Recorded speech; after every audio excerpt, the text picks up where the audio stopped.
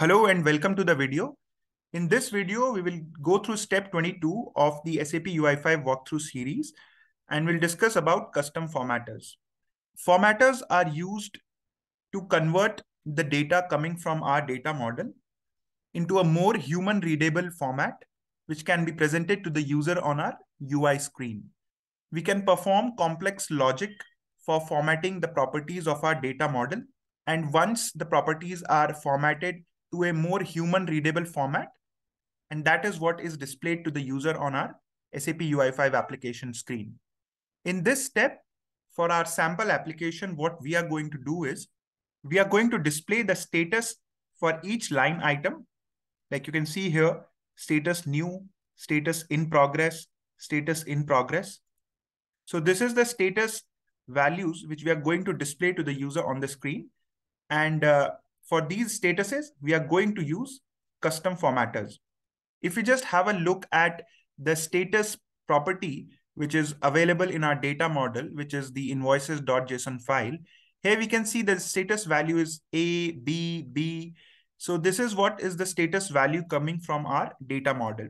But this is not what we want to show to the user on the screen because it doesn't make any sense. We want to show to the user a meaningful value a meaningful description, like whether the status is in new, it is in progress, or it is done, something like that.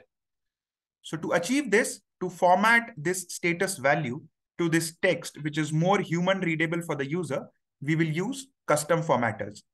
Now to achieve this, the first and foremost thing which we need to do is we will create a new file called formatter.js and we will place this file inside a new folder called model. So now this model folder, which is a new folder, contains a new file called formatter.js.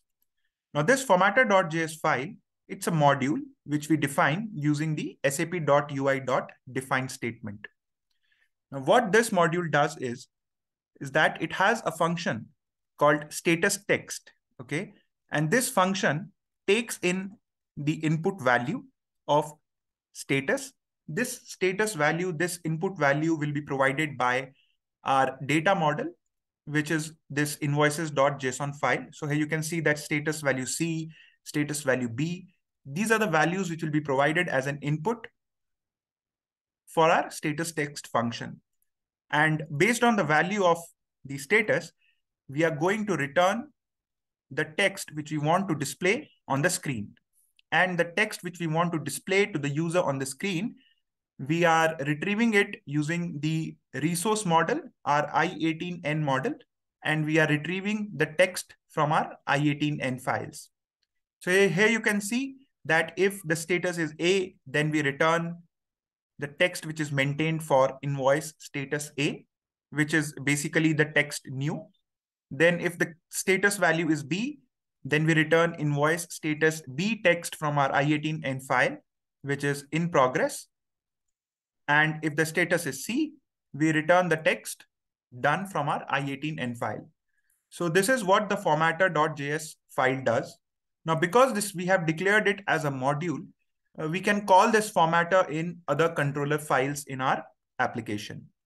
Now, for us to be able to use this formatter file, what we have to do is we go to our invoice list controller.js file, which is the controller for our invoice list view.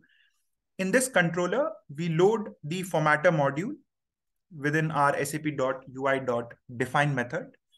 And once this formatter is loaded, we assign this formatter to a local property called formatter here. Now, once we have done this, we will make use of this formatter property in our invoice list view file.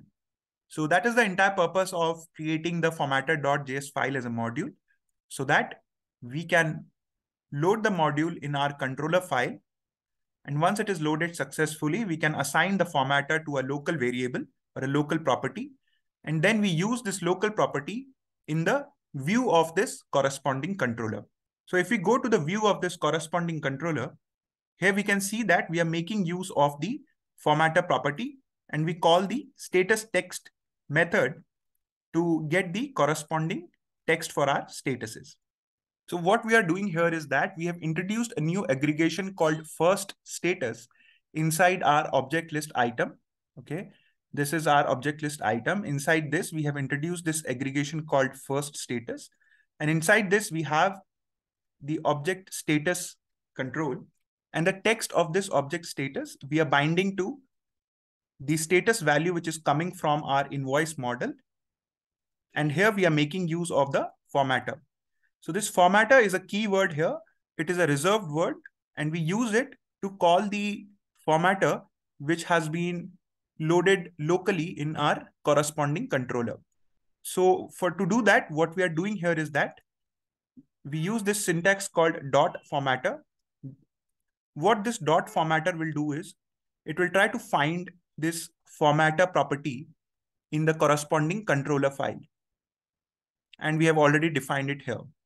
So once it finds the formatter property, then it will call the formatter dot status text method, which is this method here. And the path which we have specified here, which points to the status coming from our data model, this status will be passed as an input parameter into our status text method. So whatever is the status for the current line item, which is coming from our model, that status value will be transferred into our status text method inside this parameter. And uh, based on the value of the status, we will return the corresponding text on the UI screen. So that is what we are doing here on the view. So these are the only code changes which are needed to introduce formatter function and to make use of it to format the status which we want to display to the user on the screen. So once these changes are done, we can run our application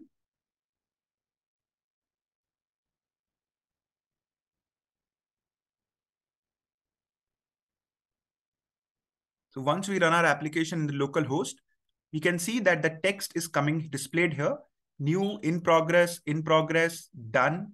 And this text is coming from the formatter.js module, where, where it is uh, formatting the text with respect to whatever status value is coming from our data model. So if the status value in our data model is A, the text which is being displayed to the user is new if the if the status value is B, then the text which is displayed to the user is in progress, and so on and so forth. So this is what a formatter does. The purpose which it serves is to convert the data into a more human readable format based on uh, some values which are provided by our data model. So that is it for this video for step number 22. If you have any questions or any comments, please put them down in the comments section. In the next video, we'll go through step 23 and discuss about filtering. Till then, thank you for watching the video and have a nice day.